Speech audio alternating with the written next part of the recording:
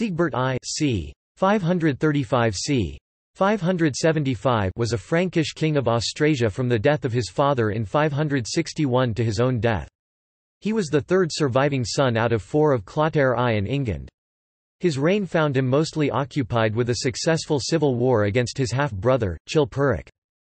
When Clotaire I died in 561, his kingdom was divided, in accordance with Frankish custom, among his four sons. Sigebert became king of the northeastern portion, known as Austrasia, with its capital at Reims, to which he added further territory on the death of his brother, Charibert. In 567 or 568, Charibert himself had received the kingdom centred on Paris, Guntram received the kingdom of Burgundy with its capital at Orléans, and the youngest son, the aforementioned Chilperic, received Soissons, which became Neustria when he received his share of Charibert's kingdom.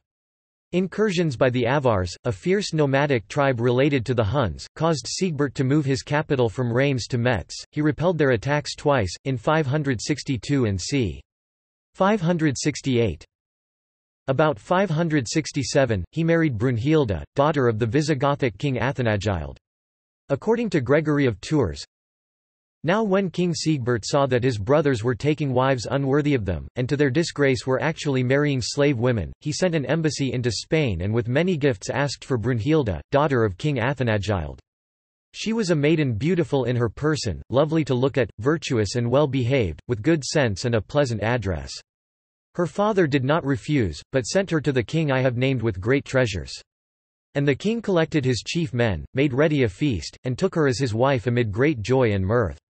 And though she was a follower of the Arian law she was converted by the preaching of the bishops and the admonition of the king himself, and she confessed the Blessed Trinity in unity, and believed and was baptized. And she still remains Catholic in Christ's name. Upon seeing this, his brother Chilperic sent to Athanagild for his other daughter's hand. This daughter, Galswintha, was given him and he abandoned his other wives. However, he soon tired of her and had her murdered in order to marry his mistress Fredegund. Probably spurred by his wife Brunhilde's anger at her sister's murder, Sigebert sought revenge. The two brothers had already been at war, but their hostility now elevated into a long and bitter war that was continued by the descendants of both. In 573, Sigebert took possession of Poitiers and Touraine, and conquered most of his kingdom. Chilperic then hid in Tournai. But at Sigebert's moment of triumph, when he had just been declared king by Chilperic's subjects at Vitry-en-Artois, he was struck down by two assassins working for Fredegund. He was succeeded by his son Childebert under the regency of Brunhilde.